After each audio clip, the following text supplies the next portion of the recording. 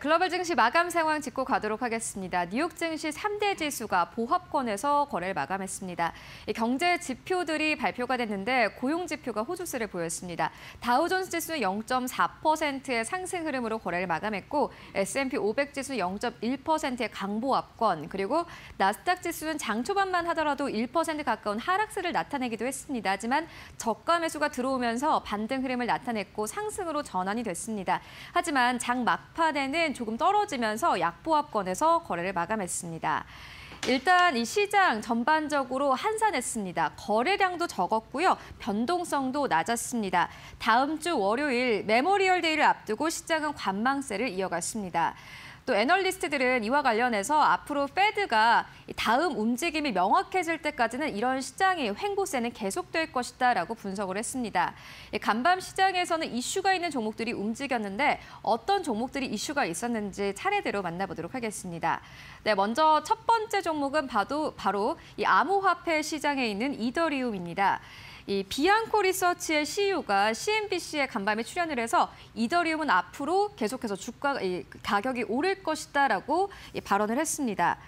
일단 이 아직 새로운 기술이기 때문에 이 암호화폐는 언제든지 50% 그리고 많게는 70%까지 하락을 할 수도 있다라고 우려를 표명하기도 했습니다. 하지만 암호화폐는 성공적으로 금융 시스템을 리메이크할 것이다라며 긍정적인 발언을 이어갔습니다. 이더리움과 같은 이 보안과 관련된 화폐는 계속해서 오를 수밖에 없다라고 강조를 했는데요. 일단 이더리움 간밤 이 시장에서 코인베이스를 기준으로 했을 때는 1% 가깝게 하락을 했고요. 업비트를 기준 으로 했을 땐 현재 4% 넘는 하락세로 거래가 되고 있습니다.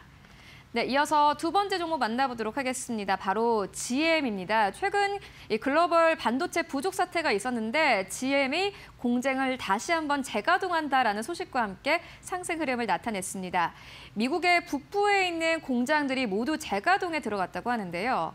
더불어서 한국에 있는 부평 공장은 다음 주부터 완전히 정상화가 된다고 합니다. 이와 함께 기대감 나오면서 2.9% 넘게 상승했고요. 59달러 선에서 거래를 마감했습니다. 했습니다.